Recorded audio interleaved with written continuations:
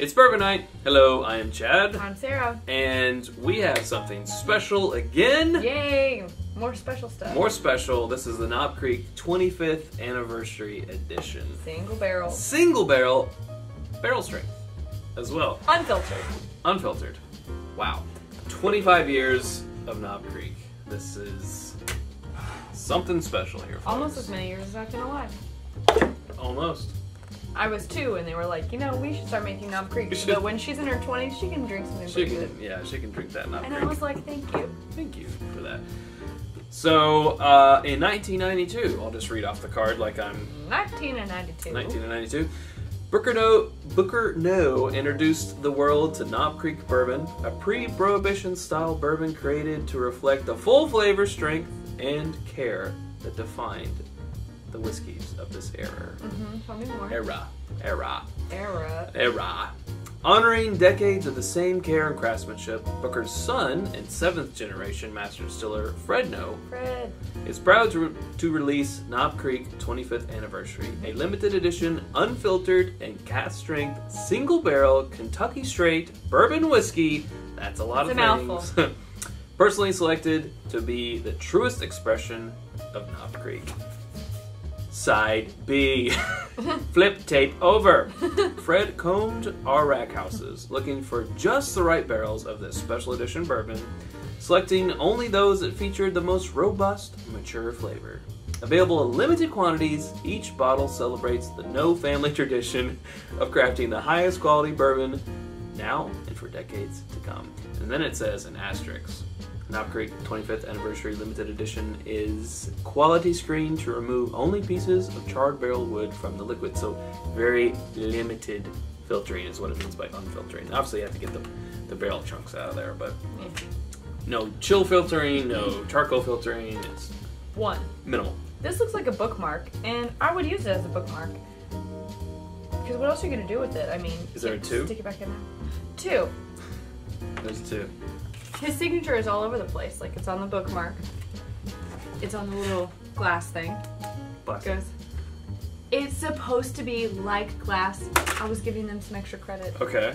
And three, if you look at this little picture down here on the label, if you've ever seen him in person, it looks just like him. It does. Like whoever drew this with just black marker and just made like tiny little lines to make a human face did a really good job because it looks just like it. They probably Maybe just just scanned took it. his picture. No, no, no, no. No, it's, no, no. My Let's way take the is magic better. away out of no, it. don't. They, s- they took his picture, they took it into Photoshop, they did a filter, make it like a drawing, bing, bing, boom. Sorry. My way is way better. Why do you have to ruin things? I don't know. So this is 122.5, and if you look at the writing, either Fred wrote this himself For someone that was really drunk. or a it. fifth grader. I don't know. I don't know. And they picked blue pen. Like everything on here is black and silver, and so it was like, Blue yes, pen. I'll write in this blue pen. Blue pen. Even though he signed up with the red one. Yes. Blue. Blue is what we will go with. All we have are these stock 99 cent blue ball pens, and that's what we're gonna write with. Oh, jeez. It's fine. Yeah. Calm down. It's what's inside the counts, right? We'll see. So, Another wax seal. That But it's love. easy. Yeah, theirs is much easier because it's so got the tab. Easy. Look at this. Oh, it's so easy. I love it. Here we go. Oh, Oh. that's satisfying. Ooh, it smells good. Yeah. All right, here we go. Ladies first. Oh, thank you. What a gentleman. Yes. So this is uh, 13 year, Oh, that smells like it's gonna kick me in the face. right? What'd you say? 122? Right? 122.5. Oh yeah, it smells like it. It smells like it's gonna be like. pew, pew. Barreled on May 13th, 2004. That's close to your birthday. It is close to my birthday, so it's a 13 year. Uh, how old were you then? So it's a 13 year. yes, it's a 13 year. Oh, It's super dark. Look how dark it is. that smells great. This is one I would beware, like putting your nose like super up in it because you're gonna get. Oh, definitely open the mouth. Yeah. Parse This the is lips. I would go into it slowly, um, because it's gonna hit you. Hmm. No, I get a lot of a lot of vanilla. Me too. And it smells honestly like crisp. hmm If that makes any sense, like um, if they made a bourbon scented laundry detergent, it would smell like. Like I feel like I'm smelling fresh linens that were also covered in bourbon, which sounds amazing. Why hasn't someone done that? I would I love would love my sheets to smell like Yes. bourbon. Sometimes they do anyway. All right, I'm gonna go For ahead different and reasons. patent pending on Patent that. pending. Okay, Sara. don't even try. I'm already on it. oh, I mean, it oh. has a really familiar. I mean, the this old is more familiar. the old familiar.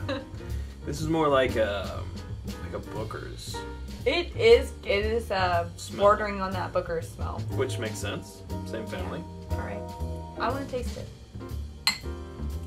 Whoa! dude. What? Heyo!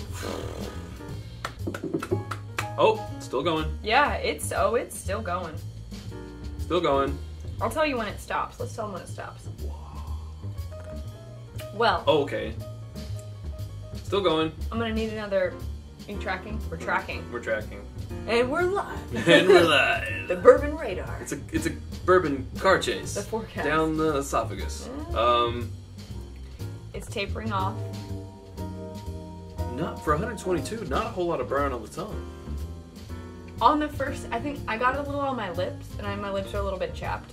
So I don't know if that's why I got it a little bit more. Um, so I'm gonna need another taste before I say anything. Wow. It's like a caramelized brown sugar Yeah. and some spice and some. There's a deeper, richer It's like a vanilla that I can't. That vanilla extract. Like a Yeah, but there's something in there that's deeper than that that I can't really put my finger on. And it's like it's that like hmm. old library with leather chairs and Yeah. you know like a cig- someone's been smoking cigars in there or something like I don't Like, know what uh, that's called, but A leather tobacco.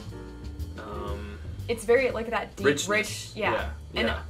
I, I can't put my finger on exactly the flavor, but if I closed my eyes, I would think I was in that room, yeah. It just chilling next to a fire. yeah. It tastes um. Why am I- why am I Mature. always near a fire? I don't know. I'm always somehow near a fire. It tastes mature and experienced and educated. Oh yeah, this bourbon is knowledgeable and it knows what it's doing. Mhm. It's trying to seduce you. It drinks bourbon library. and it knows things, and it is bourbon and it knows things. This is delicious. It's Oh my buttery. It's buttery like it's on a biscuit. The first taste is you're you're like, oh, is it too hot? Is it too much? Is it too crazy? It lifts you up Is it burning?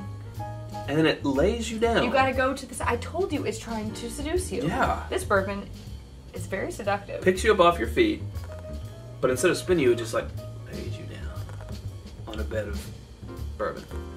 Not roses, because it's not super fruity. It's really not.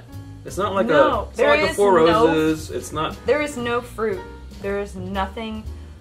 I don't. I mean, fig. I can get like some some fig, like some some Newton maybe. Is there some Newton in is there? it Mr. Fig Newton that's doing the laying down? I don't know. Yeah, Mr. Newton, Isaac, is laying you down. It's a it's a burnt burnt fig, but not unlike it's not dark chocolate. It's like a it's really that wood. It's that tobacco leather wood. Whew. I got my nose too far in there. Sorry, we're getting there, folks. We're getting there. It's complex. It's very complex. That's for sure. It's It's a mystery. It's the game of Clue in a bourbon. Who done it? Was it Mr. Plum no, it's not Professor Plum. Come on, Professor give it, Plum? give it more Sorry. credit than that. in the library It was definitely in the with the lead library. pipe? Was it a lead pipe? No, it was with the candlestick. Okay, candlestick. But who? It wasn't Colonel Mustard. Who's the other guy in the green? Mr. Green. Oh, Wow. Did, I am impressed. I So- am. I am impressed. You and I have been on a Knob Creek barrel pick where you get to taste bourbons straight out of the barrel, unfiltered, non proof down, over 100, 120 proof, which is the normal single barrel. So this is like tasting a barrel proof bourbon on a Knob Creek pick and not having to proof it down to the 120 that you right. have to do. Right, that you have to do. And when you're on a pick, you're like, I want this, I want this, but it's like at But you can't have it. 125, You can't have this. 127, and you have to prove it down. They take a little. They put a So that's little why you know you put water in it, and you're like, okay, I think this this is what it'll taste like when it's proofed down to 120. You try, but, But this, this lets you have it at that barrel strength. it gives it to you. Amazing. It gives it to you. Yes, It's pretty good. this is good. It I- knows what it's doing. I like this. I could keep going.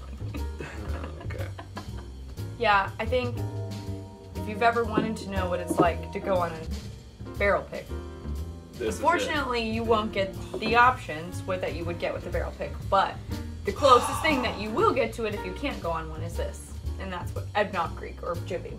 Yeah. Um, This is good. This is good. Um, come in at around $140, I believe. It's It up there. not inexpensive, no. but it is. I mean, it's the 25th anniversary. It's something to collect, something to drink, and Mm. And drink it cherish. with Shell. We shall. It's open. I mean, what else are we gonna do with it? Look at it. it? We get enough bourbon to look at. right. So you were asking me earlier my favorite bourbon of 2017. Yeah. I think at this rate, it's between the. This is tough. Ooh, guys, this is real tough. Real talk. This, the Michter's 10 single barrel, and the Booker's, Ah, 2017 one. hmm Mm-hmm. The corn. and the rye. But the rye with water. Rye with water. Right, right, right. Yeah. I agree. Mm, If we're talking straight out of the bottle, the first three. And technically, Two that came from- out last year. Well, but I didn't have it until this year, Agreed. and that's all that I care about. sure. And it's early still. It is. That's what we should do for our It's New Year's June. episode this year. Our favorites. A Uh-huh. countdown. Ideas coming out. while drinking bourbon. I love it. Anyway, for 140 bucks, it is a steep investment, but wow, this is tasty. If you don't ever foresee yourself being able to have the privilege of going on a Knob Creek barrel pick, this is the closest, if not better, option of going on a barrel pick. and if you're not part of like a bourbon society or anything, you would have to split the cost of the barrel with your closest friends and family, which would be like A lot. thousands and thousands of dollars. so in comparison, I would just get this. Pay the 140 just, bucks. just get this. to get a cask strength Knob Creek that's also a 25th anniversary. Seal of approval. Yeah, stamp. Uh, approved. Approved. Recommended. Recommended. We'll have to put it blind though against some other stuff and see how it comes out. For but sure. initial taste from the first uncorking is amazing. We like it. We like it. All right. All right, Chad. Let's Thank you. call it a day. Let's call it a day. All right. Thanks a lot. And until next time, drink more bourbon.